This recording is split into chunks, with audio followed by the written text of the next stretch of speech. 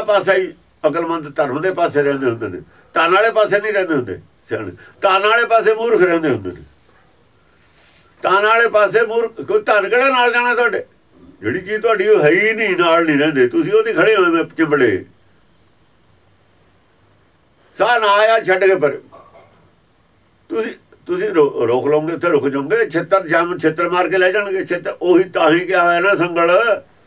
ਗਲ ਸੰਗਲ ਹੱਥ ਚ ਲਾਇਆ ਚਿੰਬੜਦਾ ਨਾ ਇੱਧਰ। ਖੈਰ ਮੈਂ ਭਈ ਭਰਾਈ। ਨਹੀਂ ਚਿੰਬੜਦਾ ਹੈ ਸੰਗਲ ਪਾ ਕੇ ਤਾਂ ਖਿੱਚਦੇ ਨੇ। ਜਿਹੜੇ ਚਿੰਬੜਦੇ ਛੱਡਦਾ ਨਹੀਂ ਉਹ ਸੰਗਲ। ਕਤੇ ਵੱਡਾ ਹੋਇਆ ਦੁਨੀਦਾਰ। ਟਰੈਕਟਰ ਮਗਰ ਬੰਨ ਕੇ ਲੈ ਜਾਊਗਾ। ਕਹਿੰਦੇ ਨੂੰ ਸੰਗਲ ਪਾ ਲੈ ਲੱਤ ਨੂੰ ਟਰੈਕਟਰ ਮਗਰ ਬੰਨ ਲੈ। ਦੇਖਾਂ ਭਲਾ ਪਾ ਲੈ ਹੱਥ ਖਾਂ ਨੂੰ ਆਉਣ। ਤਾਂ ਗਿਆ ਉਹ ਸੰਗਲ ਸੁੰਗ ਖਾਦਾ ਛੱਡ ਕੇ ਜਾਣਾ ਹੀ ਪਊਗਾ। ਕੀ ਫਾਇਦਾ ਫਿਰ? ਸਵਈਆ। ਚੰਡ ਕੇ ਕੋਪ ਨ ਓਪ ਰਹੀ ਰਣ ਮੈਂ ਅਸ ਧਾਰ ਪਈ ਸਮੁਹਾਈ। ਚੰਡ ਕੇ ਕੋਪ ਨ ਓਪ ਰਹੀ।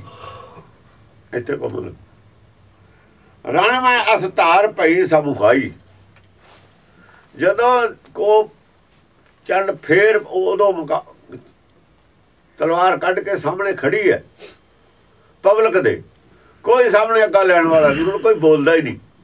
ਕੋਪ ਨਾ ਓਪ ਰਹੀ, ਉਹਦੇ ਜਿਹੜਾ ਕੋਪ ਨੂੰ ਕੋਈ ਅੱਗੋਂ ਚੈਲੰਜ ਕਰਨ ਵਾਲਾ ਹੀ ਨਹੀਂ ਹੁਣ ਹੈਗਾ। ਕੋਪ ਨ ਓਪ ਰਹੀ ਵਿਰੋਧ ਕੋਈ ਨਹੀਂ ਰਿਹਾ ਨਾ ਉਹ ਵਿਰੋਧ ਹੈ।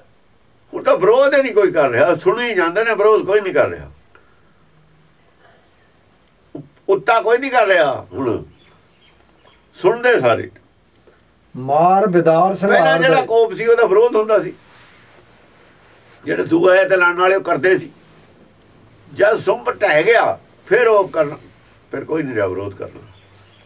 ਮਾਰ ਬਿਦਾਰ ਸੰਘਾਰ ਦੇ ਤਬ ਭੂਪਣ ਬਿਨਾ ਕਰੇ ਕੌਣ ਲੜਾਈ? ਗੱਲ ਵੀ ਠੀਕ ਹੈ। ਜੇ ਸਾਰੇ ਮਾਰ ਸੰਘਾਰਤੇ ਸਾਰੇ ਸੈਨਾਪਤੀ ਰਾਜਾ ਮਰ ਗਿਆ ਹੁਣ ਲੜਾਈ ਕਰੇ ਵੀ ਕੌਣ? ਕਾਦੇ ਵਾਸਤੇ ਕਰੇ? ਗੱਲ ਵੀ ਠੀਕ ਹੈ ਕਰਦਾ ਵੀ ਕਿਉਂ? ਕੋਈ। ਭੂਪ ਬਿਨਾ ਕਰੇ ਕੌਣ ਲੜਾਈ? ਰਾਜੇ ਬਿਨਾ ਲੜਦਾ ਕੌਣ? ਦੇਖੋ ਨਾ ਤਾਰਾ ਜੋ ਮਾਰਤਾ ਦਸਮ ਪਾਸ਼ਾ ਨੇ ਆਹੀ ਵਰਤਿਆ ਉੱਥੇ ਫਾਰਮੂਲਾ। ਆਹ ਫਾਰਮੂਲਾ ਉੱਥੇ ਜਾ ਵਰਤਿਆ। ਆਗਰੇ। ਟਾਰਗੇਟ ਕਿਹਨੂੰ ਰੱਖਿਆ? ਤਾਰਾ ਨੂੰ ਲੜਾਈ ਜਿੱਤੀ ਨਹੀਂ ਸੀ ਜਾ ਸਕਦੀ, ਜੇ ਤਾਰਾ ਨੂੰ ਨਾ ਮਾਰਦੇ।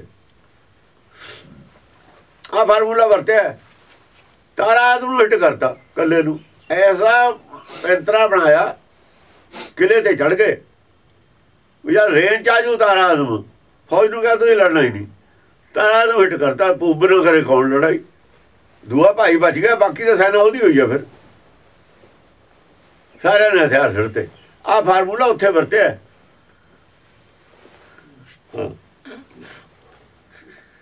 ਹਾਂਜੀ। ਕਾਂਪ ਉਠੇ ਅਤ ਤਰਾਸ ਹੋ ਇਹਦਾ। ਮਤਲਬ ਹੈ ਦਸਮ ਪਾਸ਼ਾ ਦੀ ਲਿਖੀ ਹੋਈ ਹੈ। ਇਹਨਾਂ ਨੂੰ ਕੀ ਪਤਾ ਵਿਦਵਾਨਾਂ ਨੂੰ ਗੱਲ ਕੀ ਹੈ।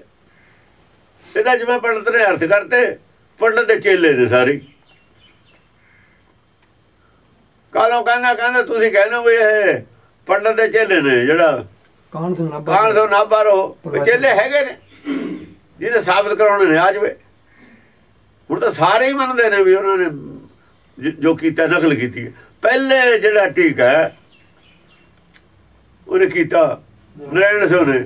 ਸਾਰਿਆਂ ਨੇ ਉਹਦੀ ਨਕਲ ਕੀਤੀ ਹੈ। ਇੱਕ ਟੀਕਾ ਨਹੀਂ ਜਿਹਨੇ ਉੱਤੇ ਗੱਲ ਉਹਦੀ ਜਿਹੜੀਆਂ ਮੇਨ ਗੱਲਾਂ ਨੇ ਉੱਥੇ ਤਾਂ ਜਾ ਕੇ ਕਿਸੇ ਦੀ ਹਿੰਮਤ ਹੀ ਨਹੀਂ ਹੋਈ ਦੂਜੇ ਪਾਸੇ ਜਾਣ ਦੀ। ਉਹ ਜੋ ਧਾਰਮਿਕ ਬੰਦਾ ਹੈਗਾ, ਉਹਨੂੰ ਸਮਝ ਆਇਆ। ਬਾਕੀ ਸਾਰੇ ਬੇਸਮਝ ਨੇ। ਕੋਈ ਟੀਕਾਕਾਰ ਸਮਝਦਾਰ ਨਹੀਂ ਹੈ। ਟੀਕੇ ਪੜ ਕੇ ਟੀਕੇ ਕਰ, ਟੀਕੇ ਪੜ ਕੇ ਨਹੀਂ ਟੀਕੇ ਹੁੰਦੇ ਹੁੰਦੇ। ਗੁਰਬਾਣੀ ਖੋਜ ਕੇ ਟੀਕਾ ਹੋਊਗਾ। ਟੀਕੇ ਪੜ ਕੇ ਟੀਕੇ ਹੋ ਜਾਣਗੇ। ਇਹਦਾ ਟੀਕੇ ਪੜ ਕੇ ਟੀਕੇ ਕਰਦੇ ਨੇ ਖੋਟੇ ਜਿਹੜੇ ਖੋਟਾ ਕੁਝ ਪੜਿਆ ਸਭ ਕੋ ਖੋਟ ਪੜਿਆ ਤੁਸੀਂ। ਉਹ ਜੋ ਤੁਸੀਂ ਖੋਟ ਤੇ ਬਾਹਰ ਕਿਵੇਂ ਨਿਕਲ ਜਾਓਗੇ? ਜੋ ਕਿਤਾਬਾਂ ਨੇ ਸਮਝ ਖੋਟ ਹੈ। ਸੱਚ ਤੋਂ ਉਹ ਜੋ ਲੱਭਦੇ ਨੇ ਸੱਚ ਇਹ। ਸੱਚ ਲੱਭਦੇ ਗੁਰਬਾਣੀ ਨੂੰ ਖੋਜੋ ਸਿੱਧਾ। ਡਾਇਰੈਕਟ ਖੋਜੇ ਕੋਈ ਬਾਣੀ ਨੂੰ। ਇੱਥੇ ਸੱਚ ਹੈ, ਹੋਰ ਕਿਤੇ ਕੋਈ ਸੱਚ ਨਹੀਂ ਹੈ। ਬਾਕੀ ਸਭ ਖੋਟ ਹੈ ਜੋ ਬਾਹਰ ਪਈ ਹੈ। ਇਸ ਕਰਕੇ ਕਈ ਵਾਰ ਕਿਹਾ ਵਿਦਵਾਨਾਂ ਨੇ ਕਿ ਜੋ ਕੁਝ ਲਿਖ ਰਹੇ ਨੇ, ਉਹ ਸਾਰਾ ਗਲਤ ਹੈ। ਜੋ ਲਿਖਿਆ ਗਿਆ ਇੱਥੇ ਉਹ ਗਲਤ ਹੈ। ਜੋ ਬੋਲਿਆ ਗਿਆ ਸਾਰਾ ਗਲਤ ਹੈ। ਨਵੇਂ ਸਿਰੇ ਤੇ ਖੋਜ ਕਰੋ।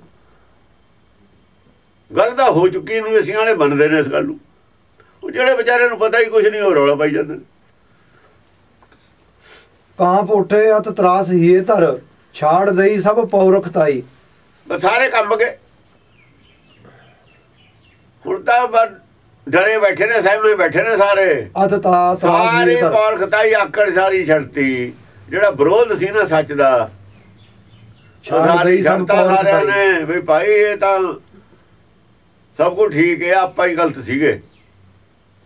ਛਾੜ ਦੇਈ ਐਸਾ ਹਿਸਾਬ ਨਾਲ ਸਭ ਕੁਝ ਠੀਕ ਹੈ। ਕਿ ਜਿਹੜਾ ਰੱਬ ਦੇਵਤਿਆਂ ਦਾ ਪ੍ਰਚਾਰਿਆ ਹੋਇਆ ਸੀ, ਉਹ ਹੁੰਦਾ ਹੀ ਨਹੀਂ, ਉਹ ਝੂਠਾ ਸੀ। ਉਹਦਾ ਵਿਰੋਧ ਸੀ। ਜਿਸ ਤਰੀਕੇ ਨਾਲ ਗੁਰਮੁਖਾਂ ਨੇ ਦਿਖਾਇਆ, ਭਗਤਾਂ ਨੇ ਦਿਖਾਇਆ, ਉਹਨੂੰ ਕੌਣ ਮੁਕਰ ਜੂਗਾ? ਉਹ ਹੈਗਾ ਉਹ। ਜੋ ਹੈ ਨਹੀਂ ਉਹਨੂੰ ਨਹੀਂ ਦੁਨੀਆ ਮੰਨਦੀ ਹੁੰਦੀ। ਕਿ ਉਹ ਜੋ ਚੀਜ਼ ਹੈ ਨਹੀਂ, ਉਹਨੂੰ ਤੁਸੀਂ ਸਾਬਤ ਨਹੀਂ ਨਾ ਕਰ ਸਕਦੇ। ਦੇਵਤਾ ਨੇ ਸਾਬਤ ਕੀਤਾ ਆਪਣੇ ਭਗਤਾਂ ਨੇ ਸਾਬਤ ਕੀਤਾ ਤਾਂ ਮੰਨੇ ਨੇ ਲੋਕ ਸਾਬਤ ਕਰੇ ਬਿਨਾ ਕੌਣ ਮੰਨ? ਲੂ ਜੋ ਹੈ ਨਹੀਂ, ਉਹਦਾ ਪ੍ਰਚਾਰ ਹੋ ਰਿਹਾ, ਜੋ ਹੈਗਾ, ਉਹਨੂੰ ਕੋਈ ਜਾਣਦਾ ਨਹੀਂ। ਮਸਲਾ ਇਹ ਹੈ, ਜੋ ਹੈਗਾ, ਉਹਨੂੰ ਜਾਣਦਾ ਕੋਈ ਨਹੀਂ, ਦੱਸਦਾ ਕੋਈ ਨਹੀਂ। ਪ੍ਰਚਾਰ ਉਹਦਾ ਹੋ ਰਿਹਾ, ਜੋ ਹੈ ਨਹੀਂ। ਇਸ ਕਰਕੇ ਸਮਝਦਾਰ ਆਦਮੀ ਧਰਮ ਨੂੰ ਨਹੀਂ ਮੰਨਦੇ। ਧਰਮਾਂ ਤੇ ਵਿਸ਼ਵਾਸ ਨਹੀਂ ਕਰਦੇ। ਕਿਵੇਂ ਕਰਨ ਕਾਦੇ ਆਸਰੇ ਕਰਨ? ਇੰਟੈਲੀਜੈਂਟ ਆਦਮੀ ਨਹੀਂ ਵਿਸ਼ਵਾਸ ਕਰਦੇ। ਉਹ ਗੱਲ ਅਲੱਗ ਹੈ। ਨਿਆਣੇ ਬਿਮਾਰ ਹੋ ਗਿਆ ਉਹ ਹੋ ਗਿਆ ਉਹ ਹੋ ਗਿਆ, ਜਾ ਕੇ ਮੰਦਰਾਂ ਚਲੇ ਜਾਂਦੇ ਨੇ, ਮੰਨਣ ਲੱਗ ਜਾਂਦੇ ਨੇ ਵੀ ਖਾਣੀ ਇੱਥੋਂ ਕੁਝ ਚੰਗਾ ਹੀ ਹੋ ਜੂ, ਸਾਡਾ ਫਾਇਦਾ ਹੀ ਹੋ ਜੂ। ਉਹ ਡਰਦੇ ਨੇ ਅਗਿਆਨ ਉਹ ਵੀ ਉਹਨਾਂ ਦੀ ਅਗਿਆਨਤਾ ਹੀ ਹੈ। ਉਹਨਾਂ ਜੱਜਾਂ ਦੀ ਬੜੇ ਆਦਮੀ ਦੀ ਅਗਿਆਨਤਾ ਹੀ ਹੈ। ਜਿਵੇਂ ਅਮਿਤਾਭ ਬੱਚਨ ਵਰਗੇ ਉੱਥੇ ਤੁਰੇ ਫਿਰਦੇ ਕਰੋੜਾਂ ਰੁਪਏ ਦਿੰਦੇ। ਇਹਦਾ ਮਤਲਬ ਅਗਿਆਨ ਨਹੀਂ ਨੇ ਉਹ, ਗਿਆਨ ਹੈ ਨਹੀਂ। ਉੱਥੇ ਕੀ ਰੱਖਿਆ? ਕੁਝ ਵੀ ਨਹੀਂ। ਰੱਖਿਆ ਤੇਰੇ ਅੰਦਰ ਹੈ ਉੱਥੇ ਤਾਂ ਲੱਭਿਆ ਕੋਈ ਨਹੀਂ। ਰੱਖਿਆ ਤਾਂ ਸਭ ਕੋ ਗਿਆਨ ਦੇ ਵਿੱਚ। ਉਹ ਤੈਨੂੰ ਹੈ ਕੋਈ ਨਹੀਂ। ਜਿਹਨੂੰ ਗਿਆਨ ਹੈ ਨਹੀਂ ਹੋ ਜਾਂਦਾ ਹੈ ਇਥੋਂ ਇਹ ਤਾਂ ਗਿਆਨ ਉਹਨੂੰ ਕੀ ਲੋੜ ਹੈ ਜਾਣ ਜੇ ਗੁਰੂ ਨਾਨਕ ਦੇਵ ਗਏ ਨੇ, ਬਾਹਰ ਜਾ ਕੇ ਗਿਆਨ ਦਿੱਤਾ, ਉੱਥੇ ਜਾ ਕੇ ਮੰਦਰ ਵਾਲਿਆਂ ਨੂੰ ਉਹਨਾਂ ਨੇ। ਗਏ ਉਹ ਵੀ ਨੇ, ਪਰ ਉਹ ਤਾਂ ਗਿਆਨ ਦੇਣ ਗਏ ਨੇ ਉਹਨਾਂ ਨੂੰ। ਉਹ, ਉਹਨਾਂ ਦੀ ਦੁਕਾਨਦਾਰੀ ਸੀ। ਉਹਨੇ ਦੁਕਾਨਦਾਰੀ ਥੋੜੀ ਬੰਦ ਕਰਨੀ ਸੀ। ਉਹ ਗੱਲ ਵੀ ਸੁਣ ਲਈ, ਕਰੀ ਵੀ ਆਪਣਾ ਹੋਈ ਜਾਂਦੇ ਨੇ। ਉਹਦੇ ਜਵਾਬ ਵੀ ਨਹੀਂ ਦਿੱਤਾ, ਵਿਰੋਧ ਵੀ ਨਹੀਂ ਕੀਤਾ, ਚੁੱਪ ਕਰ ਰਹੇ। ਉਹ ਹਵਾ ਸੀ, ਮੂੰਹ ਕਾ ਗਿਆ, ਬਾਹ ਲੰਘਿਆ। ਉਹਨਾਂ ਕਿ ਟੇਢ ਦੇਤੀ। ਦਰਖਤ ਹੈ ਬਾਂਸ ਦਾ ਹਵਾ ਆਉਂਦੀ ਹੈ, ਟੇਢਾ ਹੋ ਜਾਂਦਾ ਹਵਾ ਨਿਕਲ ਬੰਦ ਹੋ ਜਾਂਦੀ ਹੈ, ਫੇਰ ਖੜਾ ਹੋ ਜਾਂਦਾ ਹੈ। ਬਾਂਸ ਤੇ ਕੋਈ ਅਸਰ ਹੁੰਦਾ ਹੁੰਦਾ ਚੰਨਣ ਕੋ ਖੜਾ ਰਹੇ, ਤਾਂ ਅਸਰ ਨਹੀਂ। ਹਵਾ ਦਾ ਗਿਆਨ ਦਾ ਕੋਈ ਅਸਰ ਨਹੀਂ। ਉਹਦੇ ਨਹੀਂ ਅਸਰ ਹੁੰਦਾ ਹੁੰਦਾ। ਬਾਂਸ ਬੜਾਈ ਬੂਡਿਆ ਐਸੇ ਬੂਟੋ ਮਤ ਕੋਏ। ਚੰਦਨ ਕੇ ਨਿਕਟੇ ਬਸੇ ਬਾਂਸ ਸੁਗੰਧ ਨਾ ਹੋਏ। ਇਹਦਾ ਜੇ ਚੰਦਨ ਦੇ ਵਿਚਾਲੇ ਵੀ ਬਾਂਸ ਨੂੰ ਬੀਜਦੀ ਹੈ, ਤਾਂ ਵੀ ਸੁਗੰਧ ਨਹੀਂ ਹੁੰਦੀ। ਇਹ ਤਾਂ ਬਾਂਸ ਨੇ ਸਾਰੇ। ਜਿੰਨੇ ਬੜੇ ਬੜੇ ਮੰਦਰ ਨੇ, ਉਹਨਾਂ ਦੇ ਜਿਹੜੇ ਪੁਜਾਰੀ ਨੇ, ਸਭ ਬਾਂਸ ਨੇ ਇਹ। ਬੜਾਈ ਬੂਡਿਆ ਦੂਰੋਂ ਦੀਦੇ ਨੇ ਮੰਦਰ। ਦੂਰੋਂ ਹੀ ਨਹੀਂ ਹੁੰਦਾ ਬਾਂਸ। ਪਰ ਕੇਸਰ ਦਾ ਬੂਟਾ ਨਹੀਂ ਦੂਰੋਂ ਦੀਦਾ ਹੁੰਦਾ। ਕੇਸਰ ਦਾ ਬੂਟਾ ਨਹੀਂ ਦੀਦਾ ਹੁੰਦਾ ਦੂਰੋਂ ਉਹ ਤਾਂ ਬਹੁਤ ਜ਼ਮੀਨ ਤੇ ਵਿਛਿਆ ਹੁੰਦਾ। ਖੁਸ਼ਬੂ ਹੋ ਜੇ ਹੁੰਦੀ ਹੈ। ਉਹ ਨਹੀਂ ਦੀਦਾ ਉਹਦਾ ਕੋਲ ਜਾ ਕੇ ਪਤਾ ਲੱਗਦਾ। ਹਾਂਜੀ। ਛਾੜ ਦਈ ਸਭ ਪੌਰ ਖਤਾਈ। ਹਾਂ ਸਾਰੀ ਆਕੜ ਛੱਡਤੀ ਉਹਨਾਂ ਨੇ। ਜੋ ਵਿਰੋਧ ਕਰਦੇ ਤੇ ਵਿਰੋਧ ਛੱਡ ਦਿੱਤਾ।